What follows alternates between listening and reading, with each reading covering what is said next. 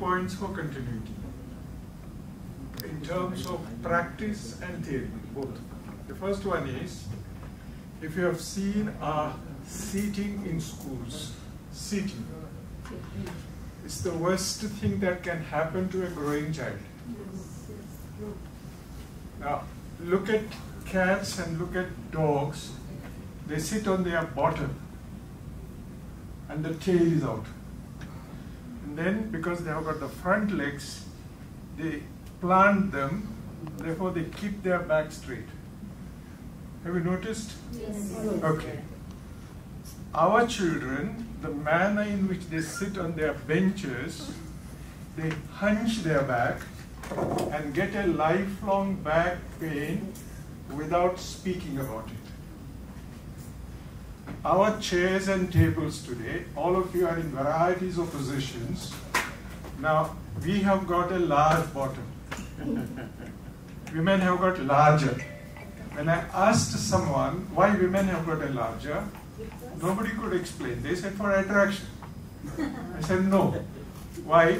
Yes, because all the time they are worried about it, and if they are in sari, they pull it down, or if they are in other dress, they pull it down on both sides.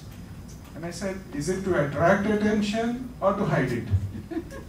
I said, no, that's not the point. The point is when a young girl becomes adolescent, because she can bear a child and the lower abdomen bulges, nature has created a larger bottom so that with the bulge, without the water, she will be falling.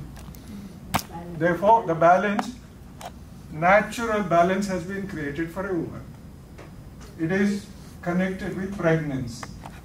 And therefore, what do you do? The lumbar region and the sacral region requires to be paid attention to if she is pregnant. And only then every every childbirth becomes easy. Okay, our children on the bench, if you see them, or with the desk or chair, whatever you give them, most of them hunch their back. From here to here, the backbone should be straight, and then the sacrum goes back with the coccyx, that should be with a slant.